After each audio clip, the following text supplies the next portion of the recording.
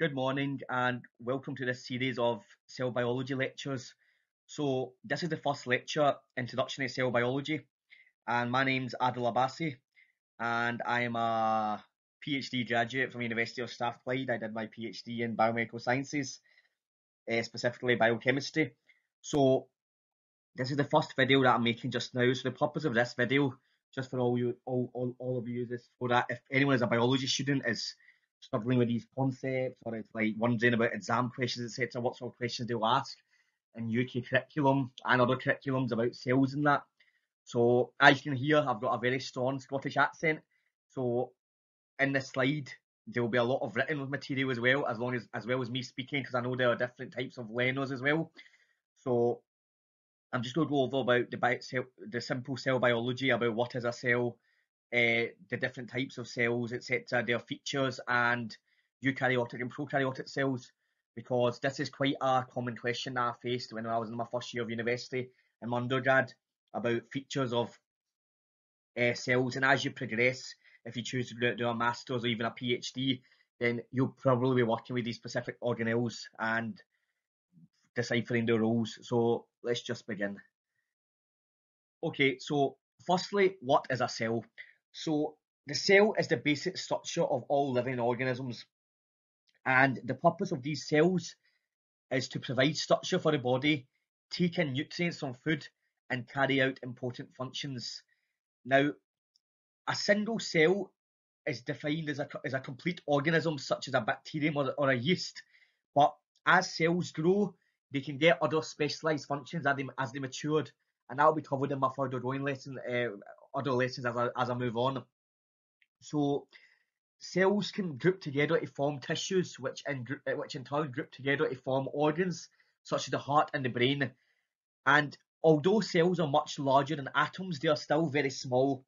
So currently the smallest type of cell that's known is a tiny bacteria called mycoplasmas and these have a higher so cells have a number of functional structures called organelles and in this diagram here if you can see that there are some typical cells here like animal cells, plant cells and bacterial cells so you can see there's stuff like centrioles, cell membranes, vacuole, ribosomes, endoplasmic reticulum, mitochondrion, nucleus, nucleolus, chromosomes, Golgi complex, also known as Golgi apparatus, cytoplasm, chromosome, ribosomes, mesosomes, pili, capsules, plasma membrane, cell walls.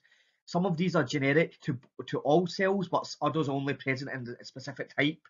So I'll just so one of the organelles is a plasma membrane. So a cell is enclosed by a plasma membrane which can form a selective barrier that allows nutrients and waste products to leave. So some products can come in and some products can come out. Proteins are too big to pass, for example. You know, um, the interior of the cell is organized into many specialized compartments or organelles, which are each surrounded by a separate membrane.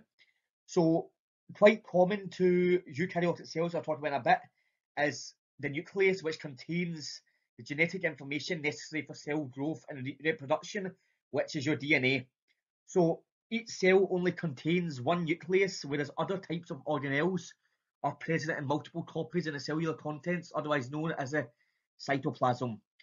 Uh, organelles also can include mitochondria, which are responsible for the energy transactions necessary for cell survival.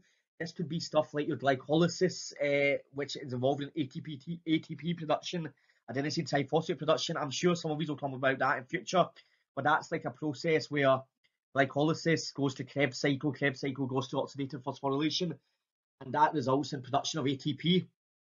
So that usually takes place in the mitochondria. Then you have lysosomes, which digest unwanted materials within the cells. This is usually done through mac.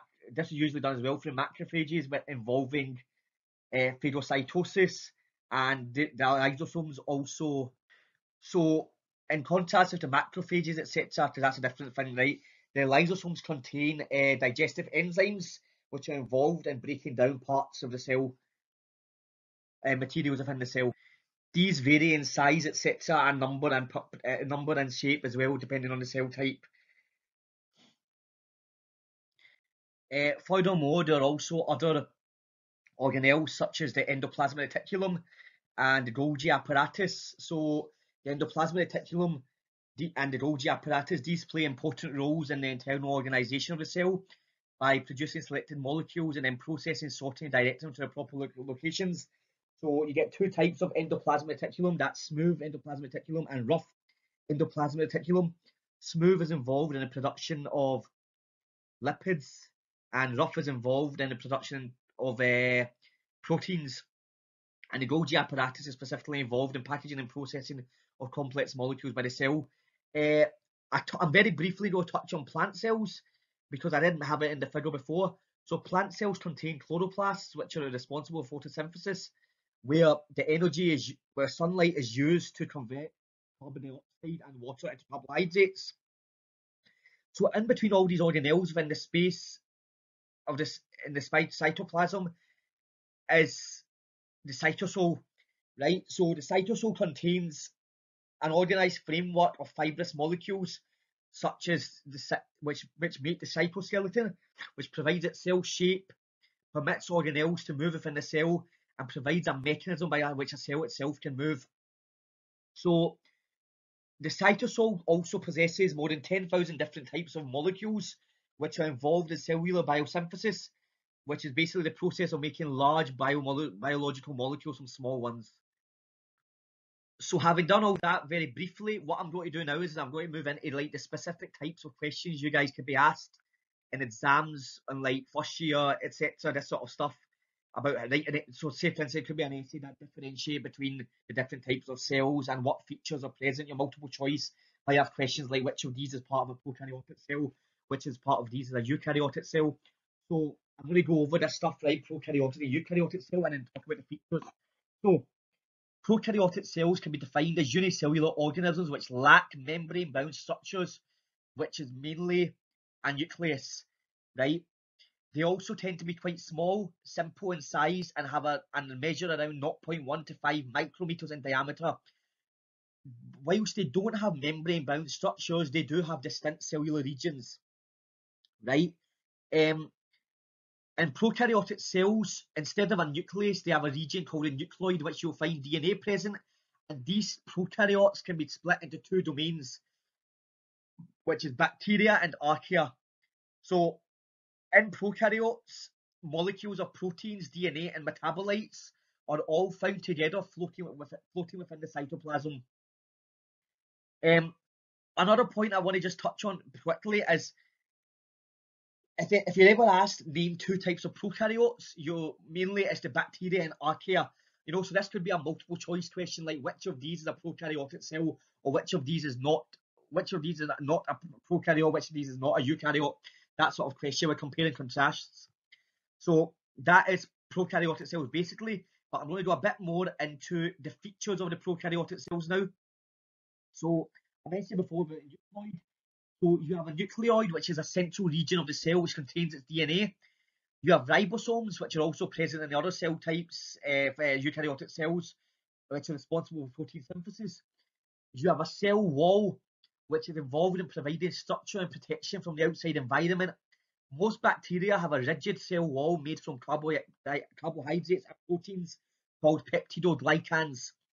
So if you're ever asked a question in a multiple choice, the cell wall of pro prokaryotic cells is made of what? You could say peptidoglycans.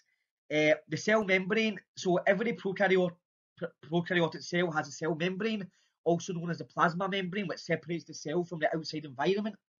You have a capsule, so some bacteria have a layer of carbohydrates which surround the cell wall called the capsule. So this helps bacterium attach to surfaces.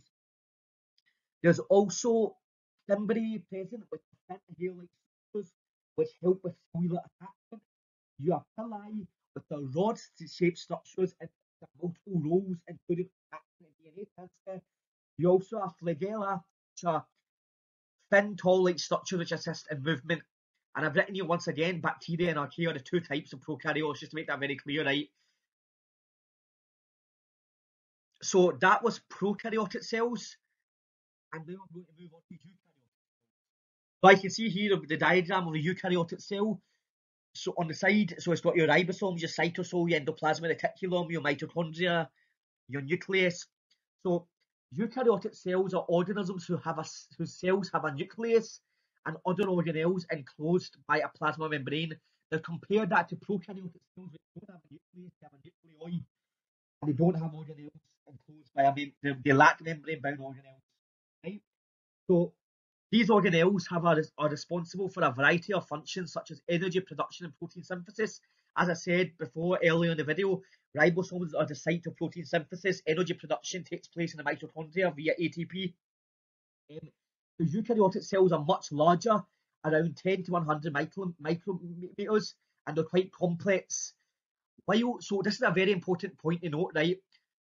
While most eukaryotic cells are multicellular organisms, there are also some single cell eukaryotes. So if it, if you want to know, if you ever want to define eukaryotic cells, it would be your animals, your plants, your fungi, algae, and protozoans. So a key point to know about fungi is, is fungi have their cell walls made of chitin, C-H-I-T, C-H-I-T-I-N, chitin. So that's another thing that could pop up in a multiple choice question. So moving on to So you have the nucleus which stores the genetic information in chromatin form. Compare that to the prokaryotic, remember, where it's in the form, where it's in the nucleoid you have the nucleolus, where it's found. So the nucleolus is found inside of the nucleus and is part of eukaryotic cells. And this is where ribosomal RNA is produced. So later on in my other videos, I'll go about the different types of RNA, like mRNA, ribosomal RNA, tRNA, tRNA, forward interfering RNA. You have the plasma membrane, which is a phospholipid bilayer which surrounds the entire cell and encompasses the organelles within. So I'm sure a lot of you come have come across about the fluid mosaic model of the plasma membrane and the hydrophobic and hydrophilic components.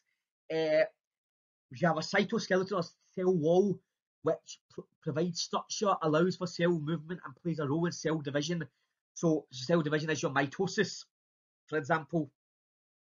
So I've mentioned before about the ribosomes being responsible for protein synthesis.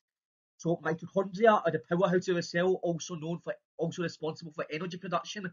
So that would be your ATP being formed, adenosine triphosphate, and that would happen in your free. You guys will come into this detail into this in more detail, especially studying biochemistry about your glycolysis with the different enzymes and Krebs cycle and oxidative phosphorylation. It's mainly ATP for the energy, but there are others. Uh, cytoplasm. So the cytoplasm is the region of the cell between the nuclear envelope and the plasma membrane.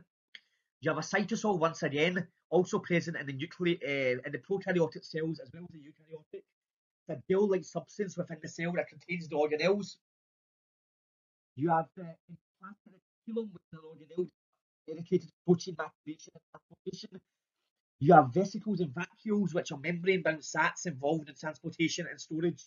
Remember what I said about the endoplasmic reticulum? You get two types: the smooth ER and the rough ER. The rough is involved in protein, and the smoothie is involved in lipid. So, moving on to the final slide, the prokaryotic cells and eukaryotic cells. Now, this information is quite important in the sense that if you're ever, ever asked to write an essay question, differentiate between the different cell types or differentiate between the structure or describe the difference between the structure of a prokaryotic cell and eukaryotic cell, these sort of tables are perfect about the differences. Obviously, you can mention the organelles and that, which I mentioned, but as you see in the table here as a summary, the nucleus is absent in a pro prokaryotic cell, but present in a eukaryotic. In a prokaryotic, remember, they have the nucleoid. They don't have membrane-bound organelles in the prokaryotic, but they're present in the eukaryotic. The cell structure of a prokaryotic is unicellular, but in the eukaryotic, it's mostly multicellular but some can be unicellular. A prokaryotic cell is much smaller, was not 0, 0.1 to 5 micrometers, um, micrometers, and a eukaryotic cell is much, much larger at 10 to 100 micrometers. The structure of a prokaryotic cell is simple, whereas a eukaryotic cell is more complex. The DNA form of a prokaryotic cell is circular, where a eukaryotic cell is linear. So, just think about circular DNA You'll want to take note of that in the future as you progress along your degrees. You'll come across stuff called plasmids. and I'll make a video on that as well soon as well. Examples of prokaryotic cells is bacteria and archaea, and examples of eukaryotic cells is animal, plants, fungi, and protists. So that's the end of our video today, happy to have went through that all with you. If there's any questions, please do like leave any comments or even any mistakes I might have made. I have noticed that I've uh, what's the stuff, you know, very at, at the start, you know, some, what about sharpening up, you know. I feel really education at law. Get out and finish it. But yeah, get out and finish it and uh, forget all of it, you know, but that, that, that, that stage, unfortunately, I can't really forget all of it, so please do forgive me.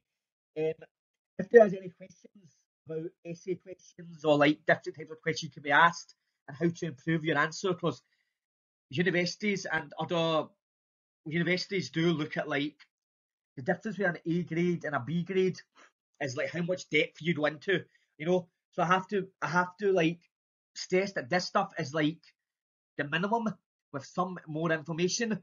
But if you want to get like top top grades, I would recommend reading some journals and also reading uh, book more books etc. Uh, and getting right into the journals basically and seeing referencing that and stuff as well. You know that can really improve your mark. Will get impressed by that.